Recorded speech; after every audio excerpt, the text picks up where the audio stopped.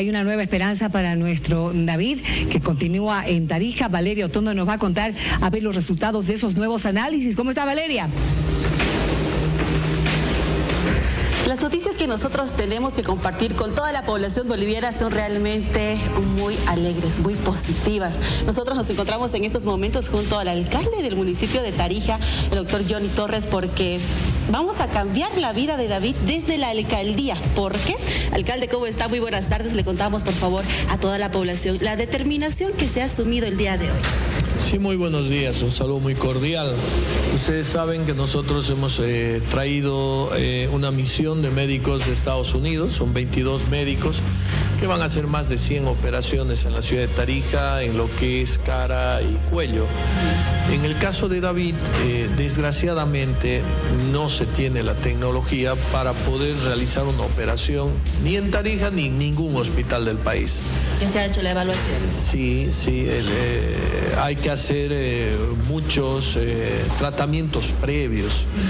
Eh, entonces, el grupo de médicos que hemos traído con el apoyo de la Fundación Ramallo y la alcaldía, nos proponen, y, gracias a Dios por el desprendimiento, que ellos lo pueden recibir en Estados Unidos, en Nueva York. Eh, para eso hay que hacer todos los trabajos previos, hay que ver eh, los recursos para los pasajes, porque tendría que eh, ir él y su mamá, la señora. Un acompañante, en este caso la mamá. Su mamá, que es la señora Dionisia.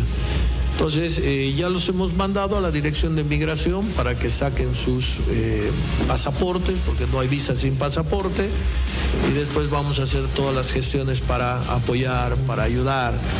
Eh, nos hemos comprometido en eh, comprar los pasajes para que ellos puedan. ¿El municipio de Cercado se va a hacer cargo de los pasajes de David y de la mamá? No el municipio, los trabajadores, digamos. El dinero que es del Estado, nosotros no lo podemos destinar para actividades privadas, pero sí, sí lo, nosotros los trabajadores de la alcaldía de Tarija. Una linda noticia, sin duda alguna. ¿Cuándo ya eh, aproximadamente estaría partiendo David?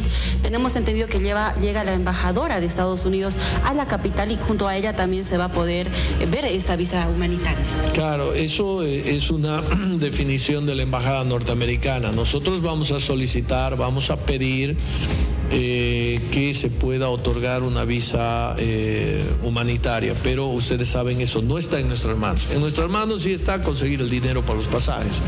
En nuestras manos sí está eh, ver el dinero para los pasaportes. Lo hacemos, pero en lo que va a la embajada vamos a solicitarle a la señora embajadora por temas de humanidad. Muchísimas gracias, alcalde.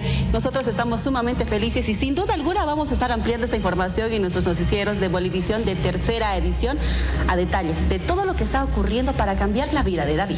Muchas gracias, querida Valeria. Qué, agradecimiento enorme para todas las autoridades en Tarija que se están movilizando justamente para apoyar a David, porque esto hay que hacerlo a la brevedad posible. Él tiene que realmente irse lo más pronto posible para poder ser intervenido ya eh, en Estados Unidos. Aquí no hay la tecnología, lo ha dicho eh, la, autoridad tarijeña. Aquí no hay, en Bolivia no hay esa tecnología. Así es que estamos pendientes de estas noticias en torno a David.